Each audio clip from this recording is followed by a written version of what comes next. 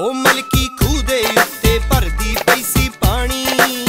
ਉਹ ਕੀਮਾ ਕੋਲ ਆ ਕੇ ਬੇਨਤੀ ਗੁਜ਼ਾਰੇ। ਉਹ ਕੀਮਾ ਕੋਲ ਆ ਕੇ ਬੇਨਤੀ ਗੁਜ਼ਾਰੇ। ਹੋ ਲੰਮਾ ਪੈਂਡਾ ਰਾਹੀ ਮਰ ਗਏ ਨੀ ਪਿਆਸੇ। ਓ ਲੰਮਾ ਪੈਂਡਾ